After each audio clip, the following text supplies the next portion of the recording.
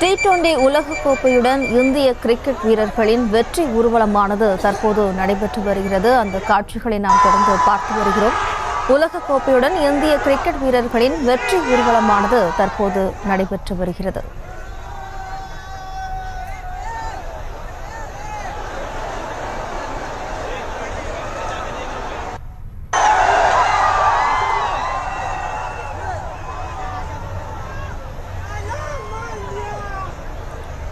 Twenty உலகக்கோப்பையுடன் இந்திய cricket வீரர்களின் வெற்றி ஊர்வலம் தொடர்ந்து நடைபெற்று வருகிறது. கூடுதல் விவரங்களோடு நமது செய்தியாளர் ராஜேஷ் இணைகிறார். வணக்கம் ராஜேஷ்.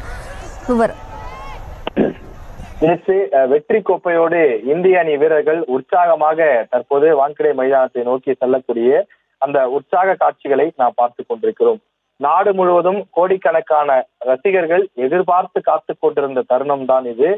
வெற்றி கோப்பையை இந்திய அணி வீரர்கள் உற்சாகமாக கையில் ஏந்தியபடி அங்கு சுற்றி நிற்கக்கூடிய லட்சக்கணக்கான அந்த ரசிகர்கள் மத்தியிலே அந்த ரசிகர்கள் வெள்ளத்திலே நீந்தி வந்து கொண்டிருக்கிறார்கள்.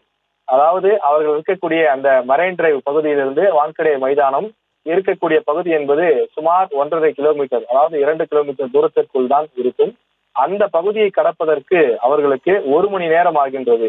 ஏழு மணிக்கு முன்னதாகவே விமான நிலையத்திலிருந்து வெளியில் வந்த இந்திய கிரிக்கெட் அணி வீரர்கள் அந்த இரண்டு கிலோமீட்டர் தூரத்தை கடப்பதற்கு ஒரு மணி நேரத்திற்கும் மேல் ஆகியிருக்கிறது.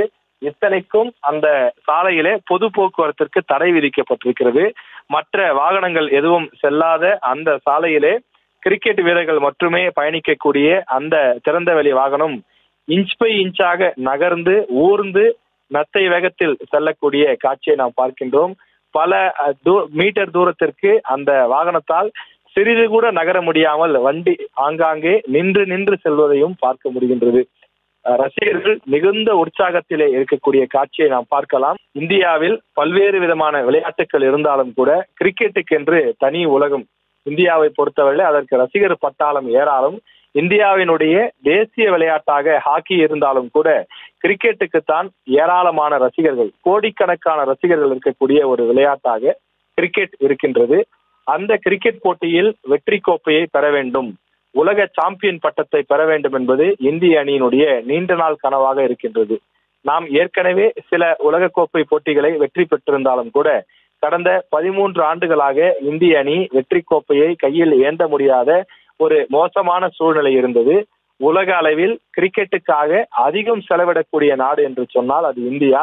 இந்தியாவினுடைய தேசிய விளையாட்டாக இல்லை என்றாலும் பல ஆயிரம் கோடிகள் ஆண்டுதோறும் செலவு செய்து இந்திய அணியினுடைய கிரிக்கெட் வீரர்களுக்கு பயிற்சியும் ஊக்கமும் அவர்களுக்கான சிறப்பு தொகைகளும் வழங்கப்பட்டு வருகின்றது.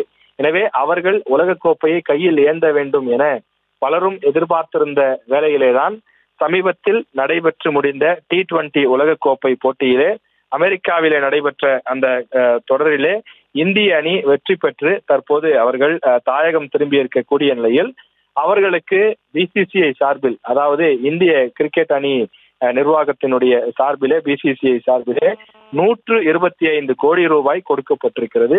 இது விளையாட்டு வீரர்களுக்கும் பயிற்சியாளர்கள் தேர்வு குழுவினர் ஆகியோருக்கு பிரித்து வழங்கப்படும் என தெரிவிக்கப்பட்டிருக்கிறது. தற்போது